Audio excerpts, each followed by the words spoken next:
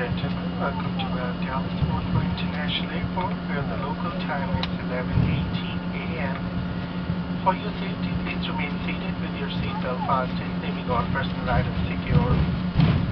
Keep the aisle clear until the fasten seatbelt sign has been turned off and we are parked at the gate. Please be careful opening overhead bins, as items may have shifted. Before you leave the aircraft, please ensure you have all personal items with you. You may now use your cell phone. All of the electronic devices must remain off until we arrive at the gate and the captain has turned off the fasten seatbelt sign. We will be deplaning by jet bridge, so please exercise care when exiting the aircraft. If you check your bag plane side, please step to the left side of the jet bridge and wait for your luggage to allow the passenger to gain entrance to the terminal.